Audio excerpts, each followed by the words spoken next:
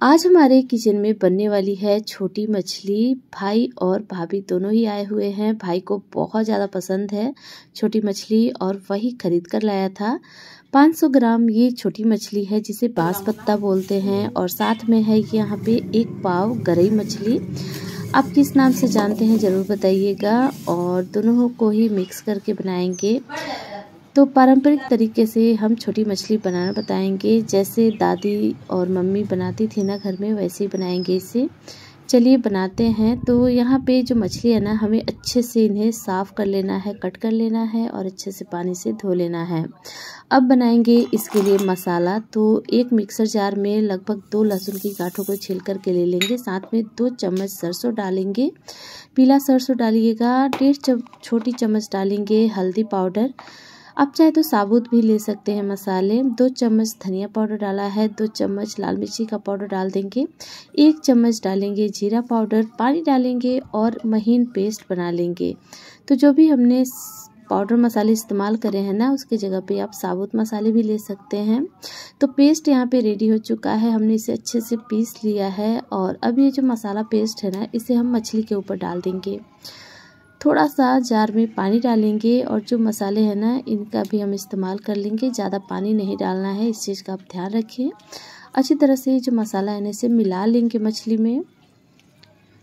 और अब इसमें हम डालेंगे नमक तो मछली के हिसाब से स्वाद अनुसार हम इसमें नमक डालेंगे।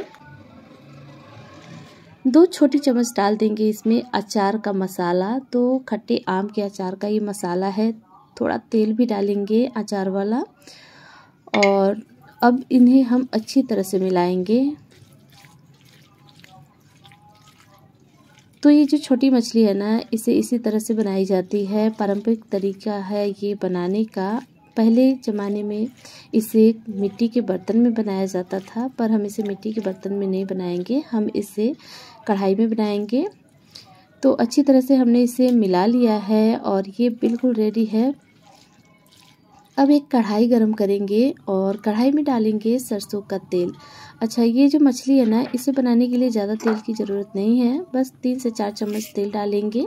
तेल के गर्म होते ही इसमें आधी छोटी चम्मच मेथी दाना डालेंगे और जो तेल है ना, इसे हम इस तरह से थोड़ा सा कढ़ाई में फैला लेंगे।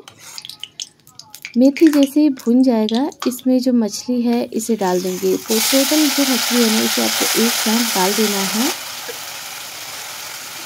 आप अगर इस तरह से ये जो मछली इसे नहीं बनाना चाहते हैं ना तो आप थोड़ा थोड़ा तेल में मछली डाल करके फ्राई करके भी बना सकते हैं इस तरह से मसाला मिलाने के बाद। तो यहाँ पे टोटल मछली जो है, इसे हमने कढ़ाई में डाल दिया है और अच्छे से मिला लेंगे हल्के हाथों से और उसके बाद इसे हम इस तरह से कढ़ाई में फैलाएँगे। पतली लेयर में आपको ये जो मछली है ना, इसे कढ़ाई में इस तरह से चिपका देना है। तो अच्छी तरह से फैला लेंगे इसे।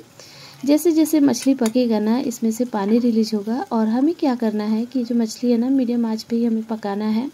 तब तक पकाएँगे जब तक इसके अंदर से जो पानी रिलीज़ होगा ना, वो सूख ना जाए और अच्छे से नीचे से हल्का गोल्डन कलर का ना दिखने लगे। तो यहाँ पे मछली जो है ना, इसे हमने अच्छे से यहाँ पे देख सकते हैं, फैला लिया है और पानी भी जैसे जैसे पकना शुरू हो रहा है ना, आप देख सकते हैं, पानी रिलीज़ हो रहा है। तो ये जो पानी है ना, इसे ही हमें सुखाना है। मीडियम आँच पे ही पकाएँगे, जिससे कि मछली भी अच्छे से कुक हो जाएगा और साथ ही साथ जो पानी रिलीज़ होगा ना मछली से, वो भी अच्छे से ड्राई हो जाएगा। तो इसे पकने देते हैं। थोड़ी देर के बाद क्या करेंगे कि ये जो मसाला और जो मछली वाला पानी है ना, इसे हम इस तरह से मछली के ऊपर फैलाएँगे, ताकि ये थोड़ा जल्दी से सूखे। तो इस तरह से जो भी पानी रिलीज़ होगा ना, उसे आपको इस तरह से मछली के ऊपर डालते जाना है थोड़ी थोड़ी देर पे और इसे सुखाना है। जब थोड़ा पक जाएगा मछली लगभग पाँच से सात मिनट, उसके बाद आप देखेंगे ना कि हल्का तेल रिलीज़ हो रहा है। आप देखिए, जो पानी रिलीज़ हुआ था ना, उसके ऊपर हल्का यहाँ पे देख सकते हैं कि तेल दिखने लगा है और पानी जो रिलीज़ हुआ था ना मछली से, वो भी लगभग ड्राई हो गया है और थोड़ा बहुत बचा है। अब हमें क्या करना है ना कि इस तरह से कढ़ाई घुमा घुमा कर इसे हमें पकाना है। चारों तरफ़ से कढ़ाई जो है ना, इसे घुमाएँगे और थोड़ी थोड़ी देर तक हम इसे इस तरह से पकाएँगे, जिससे कि मछली अच्छे से ड्राई होगा, अच्छे से पकेगा भी और नीचे से अच्छा गोल्डन कलर का भी हो जाएगा। आप देख सकते हैं यहाँ पे।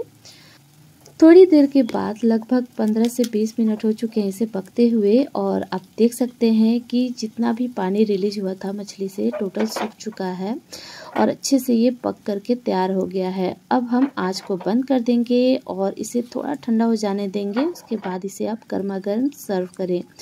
तो इस तरह से ये मछली बनती है, बहुत ही ज़्यादा टेस्टी बनती है। अच्छा बहुत से लोग इसे पकाते समय ना पलट लेते हैं, पर पलटना नहीं है। ऐसे ही ये मछली बनाई जाती है। एक बार इसे आप ज़रूर बनाइएगा। अब सबको इसका स्वाद बहुत ज़्यादा पसंद आएगा। अच्छी लगे वीडियो तो इसे लाइक कीजिएगा और शेयर कीजिएगा।